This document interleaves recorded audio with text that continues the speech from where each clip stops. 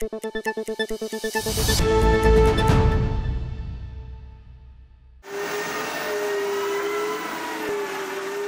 Schlimme ist in einem Keller, wo es Öl gibt im Schlamm.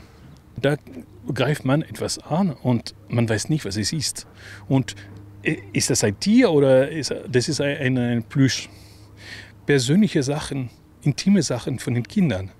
Das ist, das ist das, was wir als erstes gefunden haben. Mark äh, Manago ist Feuerwehrmann und arbeitssuchend. Trotzdem unterstützt er seit zwei Wochen als ehrenamtlicher Helfer die Aufräumarbeiten in Treffen.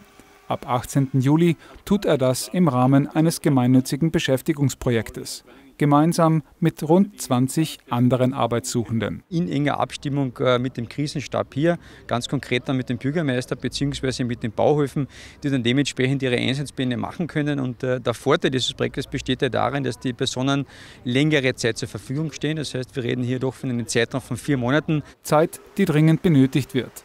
Nach wie vor ist das gesamte Ausmaß der Schäden nur schwer abschätzbar. Alleine im Bereich der Bundes- und Landesstraßen geht man von mindestens 20 Millionen Euro Schaden aus. Aber das Schlimmste ist, dass wir einen zweistelligen Millionenbetrag an Schaden am Privatvermögen haben. Und äh, Versicherungen äh, zahlen hier wirklich nur einen Bruchteil. Und wenn ich dann vor Hunderttausenden Euro Schaden stehe und 15.000 Euro bekomme, äh, dann ist das einfach zu wenig. Aus Kärntner Sicht werden wir alles tun, um bestmöglich zu helfen. Wir schaffen es nur nicht alleine.